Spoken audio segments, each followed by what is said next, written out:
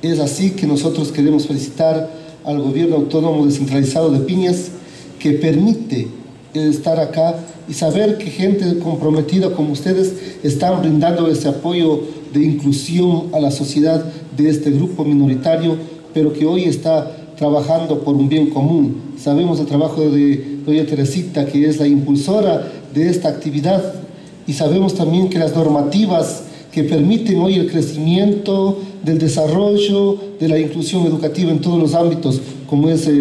la Convención de las Naciones Unidas, la Constitución Política de Ecuador, la Ley de Educación y nuestra Ley de Discapacidades. Creo que estamos fortalecidos, pero también queremos que haya ese aporte y esa unificación de esfuerzos, de voluntades, porque solo así es como nosotros podemos llegar a cosas importantes.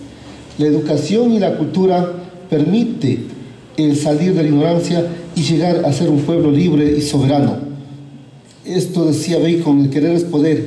y hoy estamos queriendo que esta actividad vaya participando. Por eso que el programa de CEDID de la Federación Nacional de Ciegos de Ecuador está contribuyendo y ha permitido hoy hacer la entrega del proyecto de la creación de la escuela básica. Esperamos que conjuntamente todas las autoridades pongamos el hombro para trabajar participativamente y que esto se haga realidad, que acá se cree un centro de recursos y que las personas con discapacidad tengan a dónde acudir, a dónde fortalecerse y ser entes positivos. Pero principalmente el trabajo, el accionar, las obras hablan por sí solas. Por eso, señor alcalde, queremos comprometerle, sabemos el trabajo y hasta ahora hemos visto esa brillante participación y el apoyo a nosotros. Queremos comprometerle públicamente que nos ayude con la donación de un terreno para que el centro de recursos, para que esta escuela acá de educación básica